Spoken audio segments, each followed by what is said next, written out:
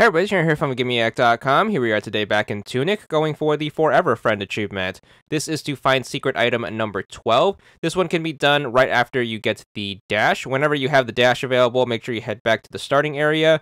You want to make sure you hit up the first teleporter, although you can do this from any teleport. Nonetheless, whenever you are in the teleporter hub, you want to make sure you head towards the bottommost teleport pad, which is going to be the one that puts you at the game spawn. Make sure you head over here on the straightaway path that connects you to the main teleporter hub. And then what you want to do is you want to make sure you stand on this very specific spot of the straightaway. It's going to be the spot right before the path breaks off, and then what you want to do once you are here is you want to make sure you face the left. You should be able to dash into open air right here, and if you keep dashing left, you should eventually reach the treasure chest right here in the middle of nowhere. Open it up, and then inside should be the 12th and final secret item. Once you have it in hand, you should be good for this achievement. 50 gamer score, and that's all there is to it.